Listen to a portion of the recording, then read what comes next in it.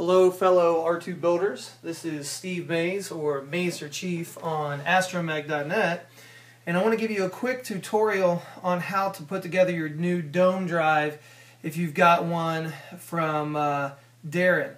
So just to go through the parts and some of the things that you're going to need, you're going to need an Allen wrench, um, you can also use your, your uh, electric screwdriver, um, you've got, you're going to need some sandpaper, and then you've got all the parts that come as a part of your uh, dome drive when you buy one. You've got the motor itself uh, that you will have to uh, buy on your own. Um, you've got the mounting system. This piece right here will help mount it to your uh, frame. This piece right here will eventually be connected to the motor itself. Um, you've got three bearings right here that will keep everything running smoothly. Obviously you've got the wheel with the rubber around it. Uh, you've got your electrical connectors right here and then four bolts that we're going to use and actually replace on this motor. If you start with the motor here, what you're going to see is that there are four black bolts right here that need to be taken out and really those are not going to be used um, in our dome drive system. The first thing that I want to show you and the first issue that you really should start with is that if you take your wheel and you take the motor itself and you try to fit the wheel onto the shaft, it's not going to go. Um, I have separated, used my Allen wrench and separated the wheel a little bit. This mounting system is pretty neat. It'll lock once you get the wheel on the shaft itself. You screw these in and it'll lock this wheel right on the shaft without any issues. But at this point in time, the hole itself that is in the wheel does not quite fit the shaft. The shaft is just a little bit too big. So we're going to start off, I'm going to move some things around here so that I don't get metal shavings in anything. But just take a piece of sandpaper. I've got a piece of uh, 180. We take that and just take a piece of it and put it on the shaft and evenly just sand the shaft down. You don't have to do it a ton, but make sure that you're sanding things evenly and periodically just try to put it on. So if I try to slide this on, it's a little bit of a tight fit, but it's starting to go a little bit further. So I'm going to continue to sand. This is definitely something that needs to be evenly done. And you can see how this system works. So I'm not going to sit here and show you the entire process, but I'll try one more fit. But you can see that you just every once in a while sand for a little bit and then try it again and then sand for a little bit and try it again and sand for a little bit and try it again. And before you know it, it'll slide right on and then you're ready to move on in the process. Once you've got the shaft sanded down and your wheel fits right onto the shaft, you'll see how slides right on. Okay, perfect. It's ready to be mounted um, once you get the motor and the mounting system all in place. So that's what we're going to work on next. One of the things that you need to notice is that the shaft, when you get your motor, the shaft and the electrical plug that you need to use are on the same side. And so we don't want that. We want to change things around so that the shaft here is sticking out of this side. And all you have to do, I'm just going to take my electric screwdriver, we're going to unscrew these four black bolts and the entire system will be able to we will be able to take apart. Be very careful when you take these off because if you're not careful if you're not careful when you take these off, the system will fall apart on you and you don't want you don't want the parts falling apart. Plus there's grease within there and if you're not careful, all that grease will get all over your parts and your hands and it'll get all over your table. So here we go. Once I remove that last bolt, this very easily, make some room here, this very easily will come apart. This bottom piece will come off right there. This top piece will come off. And as you can see, the gear system comes right out as well. So now we're ready to put this back together. And when we put it back together, we're going to put all of these other parts with it. Okay? So I'm going to go ahead and turn this over. And now the bottom piece of your motor that we took off needs to be on the same side as the plug. So I'm going to go ahead and put that back in, just like that. And by the way, the holes that these, the, the, the mounting holes here to hold the system together, the two on this side are closer together than the two on this side, so you really can't put this part in the wrong direction. so that shouldn't be an issue. I take my gear, fit it back in. I'm already getting grease on things. And now I've got the top piece, which also has a little, um, a couple of washers in there, so make sure that you don't lose those washers. And this goes back together and fits together just like that. Now, for now, I'm not going to put these bolts back in. In fact, technically, we are finished with these bolts, the ones that originally held the motor together. So these can be set off to the side, but just be very careful because this could still fall apart. So wherever you put it, make sure you put it in a place where it's not going to fall apart on itself so that you have a little bit of space to put your other pieces together.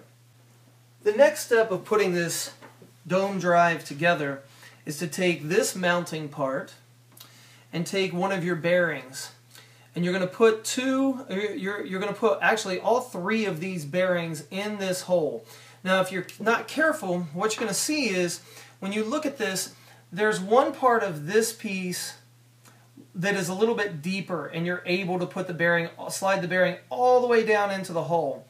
If you flip it over, you really don't have a lot of room and it's a very shallow cut right here. And that very shallow cut is not where you want to put these bearings. You want it in the deeper cut right there. And what I found was that these bearings fit really tight. Okay, when you try to fit it in, if it's if it's um, uneven in any way, you can see that that's a little bit uneven. There's no way it's going to go down into the hole that you want. So what we want to do is make sure that we line it up very carefully.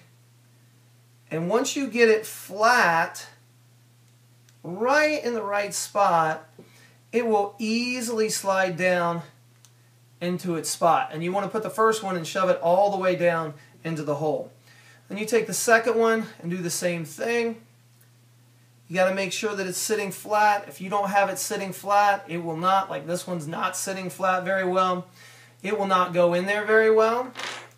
So just take your time. Make sure that it sits flat. Make sure that it's nice and easy.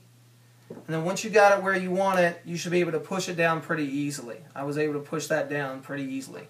And then the last one is the easiest one because it only fits about halfway down into the hole. And so you got that right there, about halfway down in the hole. And this is now ready to mount onto your motor. So this piece right here, what you, what you want to make sure of is the side where you put all the, all of the bearings is the side that faces up in relationship to the motor. You don't want to put the bearing side down on the motor because it's just the wrong way to do it. And the bearing would be hitting this part of your motor and you don't want that. So make sure that the bearings are facing up and then this will slide right down into place and the holes line up perfectly. It's very, very nice. Now in that case, one of my bearings didn't fit, kind of came off, so I just shoved it right back down where it's supposed to go and there's the bearing. The next piece that we're going to mount on here is the part that actually mounts to your um, mounts to your frame.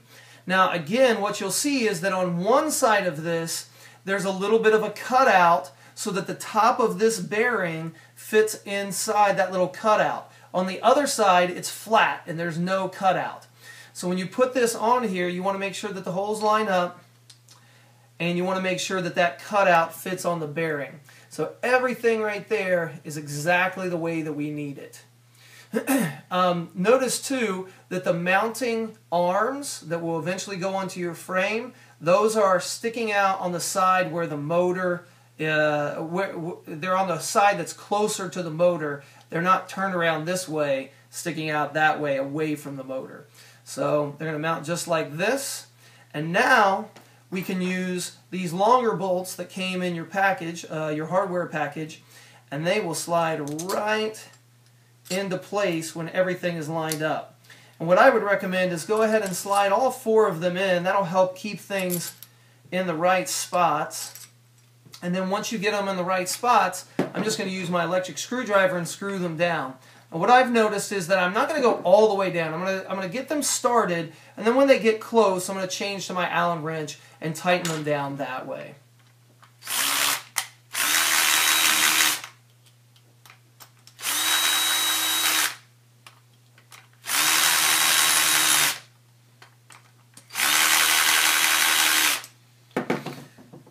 switch to my Allen wrench, tighten them down.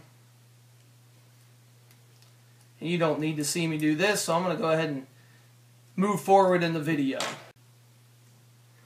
Alright, so now that we've got everything mounted, I just want to show you a little bit, give you an idea of how everything looks. If we start at the bottom here, what you're going to be able to see is that these bolts that we put in on the top side, they stick out on the bottom side a little bit less than a centimeter, and that's fine. It holds everything together nice and tight. If you've got everything together nice and tight, this is going to be sticking out a little ways.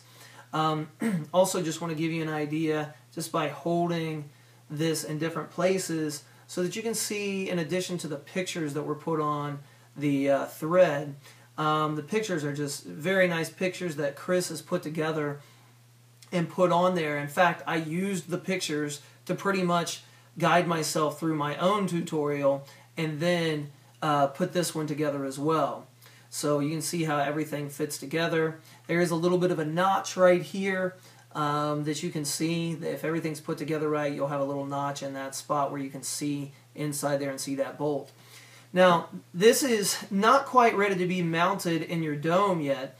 Um, what you'll find is, now that we've sanded down the shaft, this wheel will slide right on and it slides on without any issues. And when you're ready to, to uh, put this on your frame, um, the two little bolts use an Allen wrench right there. That'll tighten the wheel, and when this whole thing turns, it, it holds really tight. Now, when it goes, when you mount this to your frame, this will be mounted to the bottom of your frame underneath of your rockler bearing, and the frame will be sitting right here on top of this flat part of the dome drive. So you'll have the dome drive, then you'll have the frame, and then you'll have the wheel that's on top of the frame itself. Okay, the wheel will be above the frame. And since this is adjustable, you'll be able to adjust the height. And once you get it in the right height, this doesn't have to sit flat on the frame. Once you get this adjusted to the right height, it'll hold nice and tight and turn everything the way that it needs to turn. Now what you'll notice is you still have an inch and a half or two inches of the shaft sticking up out of the wheel. That's going to need to be cut off. You're going to have to cut that off and then I would recommend grinding it down flat with the rest of this wheel so that everything is nice and smooth. You're going to have your dome spinning and you don't want this shaft sticking up out of your um, out of your frame as the dome spins thing in, things inside your dome may hit this shaft so you're going to have to cut that off make sure that you don't cut too much off uh, at the beginning, it's always e easier to cut too little off and then go a little bit further and grind it down to where you want it as opposed to cutting off too much. So make sure that you measure the right height and everything so that you're going to have your wheel in the right spot. Um, hopefully this video has been helpful and um, this is uh, something that uh, will be a, a, great piece for people moving forward that get this for uh, as a dome drive.